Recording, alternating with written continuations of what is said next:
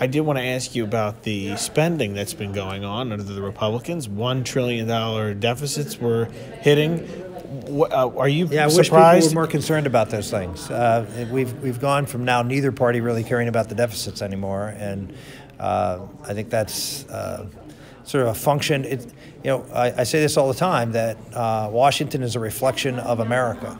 And frankly, most Americans don't care about the deficit. And so it's hard to rally political support uh, to con- be concerned about the the, uh, the, the growth in government spending and the uh, and the lack of fiscal accountability. So, uh, in a sense, the American public is getting what they want, uh, but it's not necessarily what is best.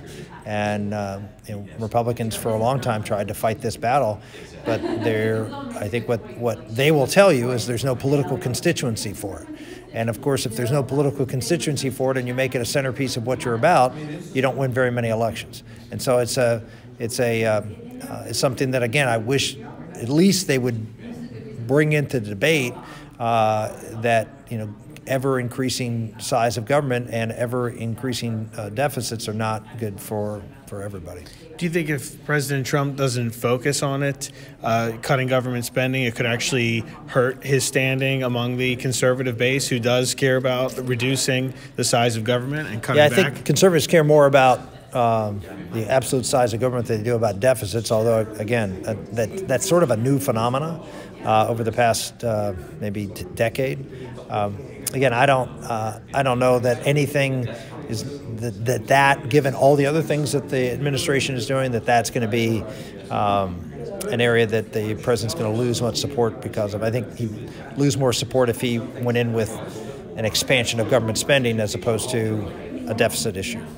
How long do you think the U.S. has going on with the trillion dollar deficit and a rising national debt over 22 trillion?